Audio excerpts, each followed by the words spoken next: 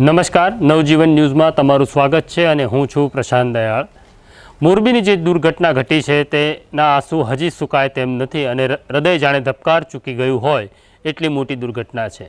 આની પીડા તો ખરેખર તેમને જ સમજાય કે જેમણે પોતાના સ્વજન ગુમાવ્યા છે. અનેક બાળકો એવા છે કે હવે અનાથ થયા છે અને અનેક મા બાપ એવા છે કે જેમણે પોતાના સંતાન ગુમાવ્યા છે. આ પીડા ખરેખર શબ્દોમાં વર્ણવી શકાય તેમ નથી કે તેના માટે શબ્દ પણ ઓછા પડે તેવું છે. આ ઘટના પછી તંત્ર જે સ્થિતિમાં મુકાયું અને બઘવાઈ ગયું હોય તેવું લાગ્યું. આ ઘટના પછી તરત મોરબી પોલીસની મદદે મોરબી વહીવટીતંત્રની મદદે રાજકોટ અને સુરેન્દ્રનગર જિલ્લાના અધિકારીઓને મોકલવામાં આવ્યા.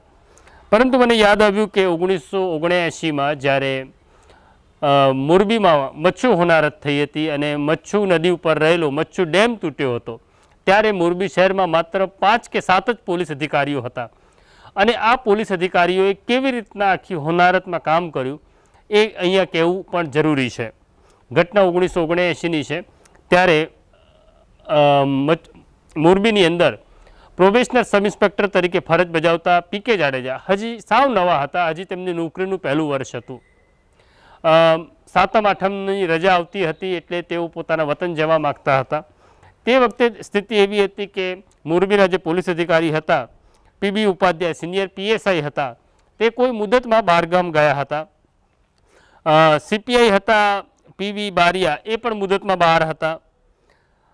એક ડીવાયએસપી ઝાલા હતા, બીજા એક પીએસઆઈ હતા ડીએ જાડેજા જે ગ્રામ્ય વિસ્તાર સંભાળી રહ્યા હતા અને પીકે જાડેજા જે મોરબી શહેરમાં હતા, તેમને રજા મંજૂર થઈ હતી એટલે આગલી રાત્રે અખબાર લઈ જતી ટેક્સીમાં લગભગ ત્રણ ચાર વાગે એ ટેક્સીમાં પોતાના વતન કચ્છ જવા નીકળ્યા. ત્યારે ભારે વરસાદ ચાલુ હતો. તેમની ટેક્સી જ્યારે માળિયા ક્રોસિંગ ઉપર પહોંચી, ત્યારે તેમણે જોયું કે એ ક્રોસિંગ ઉપરથી પાણી વહી રહ્યું હતું.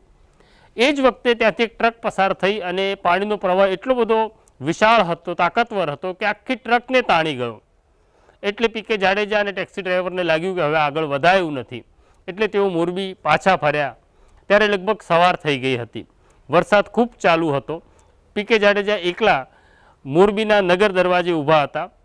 સાવ નવા પીએસઆઈ હતા. શું કરવું તેની સમજ પણ નહોતી, કારણ કે કોઈ સિનિયર અધિકારીઓ પણ ત્યારે ત્યાં નહોતા. ત્યાં આગળ પોલીસ સ્ટેશનની અંદર જે મોરબી પોલીસ સ્ટેશન છે, તેમાં માત્ર ત્રણ પોલીસવાળા હાજર હતા. આ ત્રણ પોલીસવાળાએ જાણકારી આપી કે પોલીસ સ્ટેશનને અડીને આવેલી જે પોલીસ લાઇન છે, એ પોલીસ લાઇન હવે ડૂબવા લાગી છે. જેમાં પોલીસના પરિવારજનો છે સ્ત્રીઓ છે, બાળકો છે, વૃદ્ધો છે. પીકે જાડેજા આ ત્રણ પોલીસને લઈને પોલીસ લાઇનમાં છાતીસમા પાણીમાં પસાર થાય છે. અને એમણે જોયું તો ઘરની બહાર હવે લોકોને કાઢી શકાય તેવી સ્થિતિ નહોતી.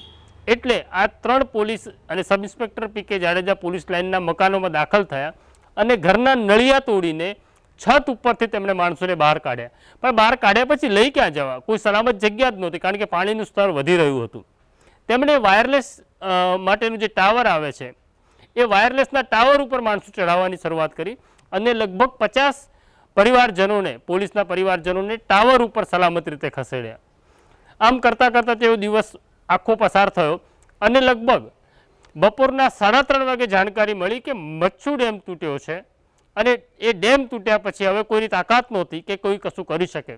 આખા મોરબીમાં પાણી ફરી વળ્યું. મોરબી જાણે તણાઈ ગયું હોય મોટી ટ્રકો, મોટા વાહનો જાણે રમકડાના હોય તેવી રીતના પાણીમાં વહેતા થઈ ગયા હતા. લગભગ આ પાણી ઓસરતા પીકે જાડેજા એવું કહે છે કે લગભગ દસથી બાર કલાકનો સમય લાગ્યો. જ્યારે આ પાણી, મચ્છુ ડેમનું પાણી ઓસર્યું, ત્યારે જોયું તો ચારે તરફ માત્ર ને માત્ર લાશો હતી. સરકારી આંકડા પ્રમાણે ચૌદસો લોકો મોરબીમાં માર્યા ગયા હતા. અત્યારે જે આંકડો આપણી પાસે આવ્યો છે, એના કરતાં લગભગ દસ ગણો આંકડો વધારે હતો. ઠેર ઠેર લાશો હતી. જે લોકો મરી ગયા હતા અને જે લોકો જીવતા રહ્યા હતા, એમની જિંદગી હવે દોજક બની ગઈ હતી, કારણ કે એમની પાસે કશું વધ્યું જ નહોતું. ખુદ પીકે જાડેજા જે પોલીસ લાઇનમાં રહેતા હતા, તેમનું સામાન પણ તણાઈ ગયો હતો, તેમની પાસે હવે પહેરવાના કપડાં પણ વધ્યા નહોતા. આ સ્થિતિમાં પોલીસ તરીકે આ ચાર કર્મચારીઓ હવે લોકોને બચાવવાના હતા. જે લોકો મૃત્યુ પામ્યા હતા, તેમના કાગળ કરવાના હતા, તેમના અંતિમ સંસ્કાર કરવાના હતા. તંત્ર કામે લાગ્યું હતું. ગુજરાતના સિનિયર આઈ આઈએસ અધિકારી એચ કે ખાનને સરકારે ત્યાં મોકલ્યા હતા. પરંતુ ત્યારે એટલા આધુનિક સાધનો આપણી પાસે નહોતા કે કેવી રીતના આ બચાવ કામગીરી થાય. છતાં ઘણી બધી સ્વૈચ્છિક સંસ્થાઓ અને સરકાર આ મદદના કામગીરી કરી રહી હતી. એ દરમિયાન જાણકારી મળી કે લોકો પાસે હવે ખાવા પણ નથી. અને બહારથી કોઈ એવો પુરવઠો પણ આવી રહ્યો નહોતો. લોકો ટળવળી રહ્યા હતા ભૂખને કારણે જે લોકો જીવિત હતા. પોલીસને જાણકારી મળી કે એક દુકાન છે.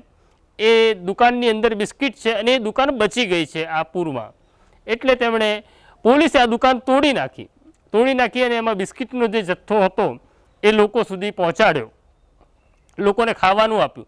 આ દુકાન માલિકને એટલો ગુસ્સો આવ્યો, એણે પોલીસ સામે લૂંટનો ગુનો દાખલ કરાવ્યો. પણ જ્યારે સમૂહસૂત્ર બધું જ્યારે થવા લાગ્યું મોરબી, ત્યારે પોલીસે એને સમજાવ્યું કે ભાઈ આ જે પોલીસે જે દુકાન લૂંટી હતી, બિસ્કિટને પોતાના માટે નહોતી, લોકો માટે હતી, ત્યારે તે માન્યો અને પછી ફરિયાદનું માંડવાળ પણ થઈ. આ આખું બચાવ કામગીરી ત્રણ મહિના સુધી ચાલી હતી અને આજે જે મોરબી બેઠું થયું, એ ઓગણીસો ઓગણએંશીમાં સાવ સમાપ્ત થયું હતું. કદાચ આ જ મોરબીને ફરી એક ઘાતમાંથી પસાર થવાનું હશે, એટલે આ દુર્ઘટના ઘટી. મોરબીમાં ત્યારે શું થયું હતું એ બીજી ઘટનાઓની પણ હું તમને જાણકારી આપીશ. કારણ કે એક પેઢી બદલાઈ ગઈ છે જે આજ જે દુર્ઘટના જોઈ રહી છે, એમને આ ઓગણએંશીની ઘટનાની ખબર જ નથી. મોરબી એક આવી વિશાળ દુર્ઘટનામાંથી પસાર થયું હતું. મોરબી ફરી પગભર થયું હતું. મને ખબર નથી કે આજની આ દુર્ઘટના ઝૂલતા, પુલની દુર્ઘટના ભૂલતા હજી મોરબીને કેટલા વર્ષો જશે. અને કદાચ જેમને પોતાના સ્વજનો ગુમાવ્યા છે, તેઓ પેઢી સુધી આ દુર્ઘટનાને નહીં ભૂલી શકે. ઈશ્વરને પ્રાર્થના કે જલ્દી મોરબી આ આઘાતમાંથી બહાર આવે. નમસ્કાર.